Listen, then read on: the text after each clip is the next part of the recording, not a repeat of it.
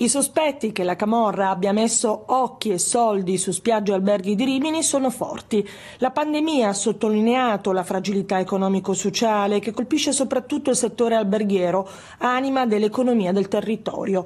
Il prefetto della città romagnola, Giuseppe Forlenza, sottolinea è indubbio che questa vulnerabilità possa costituire terreno fertile per la criminalità organizzata.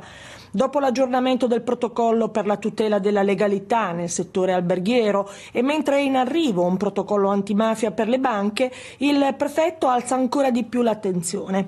Da settembre ad oggi 10 interdittive antimafia su 13 a Rimini hanno riguardato alberghi.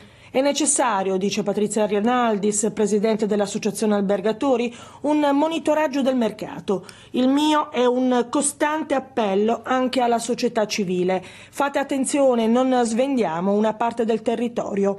Il grido d'allarme arriva anche dal segretario regionale Will Giuliano Zignani che denuncia attività come lavatrici per riciclare soldi sporchi.